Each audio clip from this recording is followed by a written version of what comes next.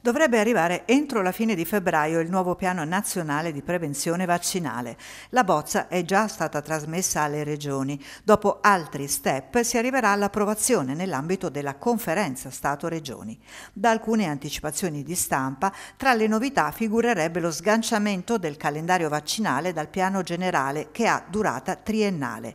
Un cambiamento ritenuto importante in quanto agevola l'introduzione annuale di eventuali modifiche o nuove vaccinazioni vaccinazioni. Intanto sul fronte dei contagi, in attesa dei dati regionali del venerdì, si riflette sull'alto numero di reinfezioni. I medici ricordano che i vaccini a RNA, che hanno grande efficacia nel prevenire le forme gravi della malattia, non costituiscono tuttavia uno scudo totale nei confronti del Covid. Dunque, nel tempo, la possibilità di reinfettarsi esiste, almeno finché il virus è in circolazione. Il mese di febbraio porterà con sé anche l'aggiornamento degli orari in cui sarà possibile sottoporsi alla vaccinazione anti-Covid nelle sedi gestite dall'ASL di Pescara. A Pescara città, nei locali della stazione Porta Nuova, ci si potrà vaccinare tutti i martedì, mercoledì e venerdì dalle 9 alle 13, senza prenotazione, che invece è obbligatoria per l'età pediatrica dai 5 agli 11 anni. Il Baby Hub è in via Renato Paolini 47 a Pescara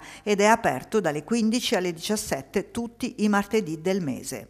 A Penne, Contrada Campetto, sede aperta dalle 15 alle 18 nei giorni mercoledì mercoledì 8 febbraio, mercoledì 22 febbraio.